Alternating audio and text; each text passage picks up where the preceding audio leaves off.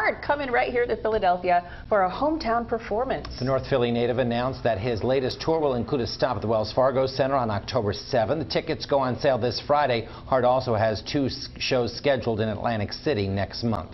All right, 645.